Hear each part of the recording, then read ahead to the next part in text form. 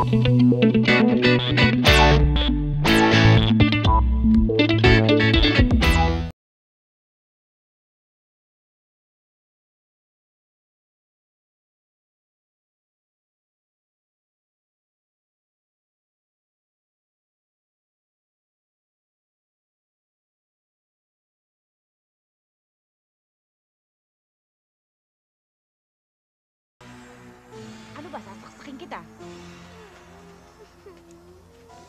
Kamaarte, ha? Halika dito. Hindi ba sinabi mo sa akin na yung kumuha sa alaga ko, dito umakyat? Opo. Akyat! Akyat! Akyat! Huwag kang bababa na hindi mo kasama si Junie, ha? Akyat! Ano ba? Sasaksakin kita. Akyat! Akyat! Opo. Akyat na! Akyat! Kaya mo yan, ha?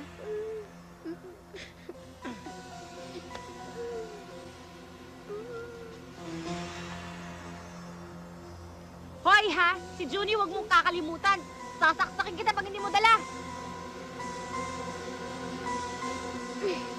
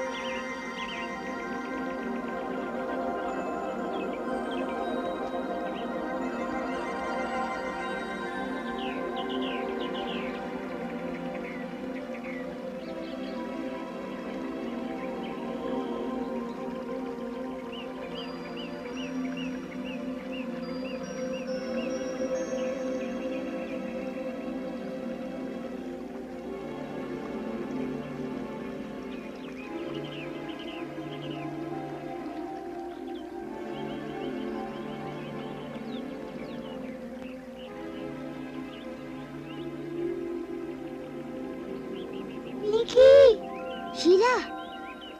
Bambi! Nikki, Nikki! tulungan mo kami! Andrew! Junie! Nikki, tulungan mo kami! Nikki! Ba't kayo nandito? Ba't kayo nakulong? Ginawa kaming hostage nung witawit.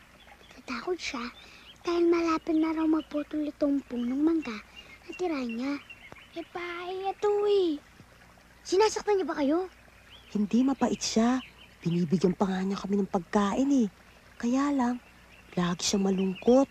Tapos kahapon nung may pinuto na puno dyan sa park, naggalit siya. Alam po kung bakit.